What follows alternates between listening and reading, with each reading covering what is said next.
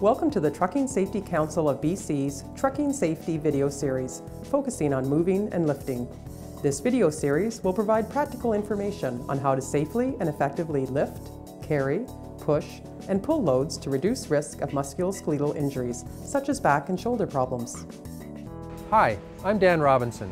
I'm a Canadian certified professional ergonomist, and I will be discussing how to safely and effectively use mechanical equipment such as dollies, and hand trucks in manual handling work situations.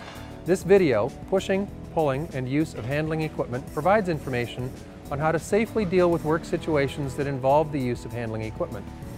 This includes thinking about the work situation and the load so that you can prepare for and use the best and safest handling methods for the conditions. Always go through the stop, think, act process detailed in the Preparing for Work video. To lift and move loads, your first choice should always be to use handling equipment, like a forklift or overhead crane, a hand jack or dolly, carts or other wheeled platforms. Determine what is available to you as part of your planning process. To most effectively use lifting and moving equipment, orient the load to make access with the equipment as easy as possible. Reduce the distance that the load will need to be moved. Make sure that you have a clear path with no obstacles, enough aisle width to move the load, and no closed or locked doorways. Level dock plates and place ramps where you need them. Wedge doorways open or have someone in place to open the door for you. Select lifting or moving equipment that fits for your situation.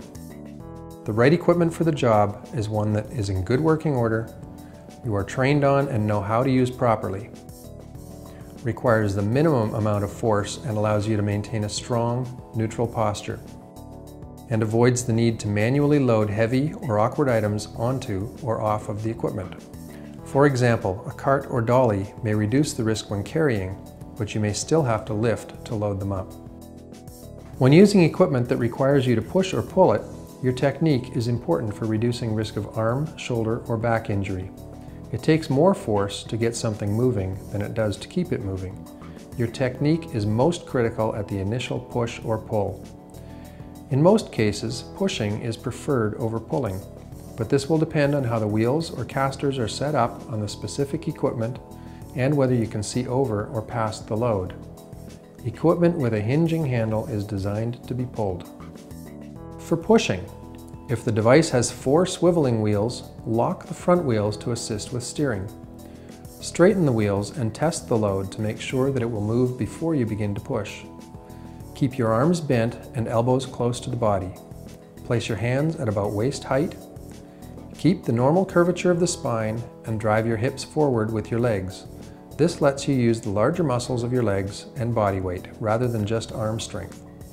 Gradually increase force until the object moves. For pulling, if the device has four swiveling wheels that can be locked in place, lock the rear wheels to assist with steering.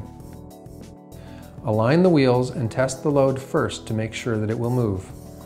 Pulling a wagon style handle that can be managed with one hand, bring the handle forward to one side of the body and bend at the elbow.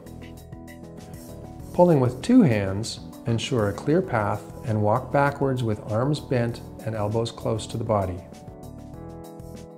This concludes the video, Pushing, Pulling, and Use of Handling Equipment, part of the Trucking Safety, Moving, and Lifting series. Always stop, think, and then act. If you have any questions or are looking for more information, please contact the Trucking Safety Council of BC.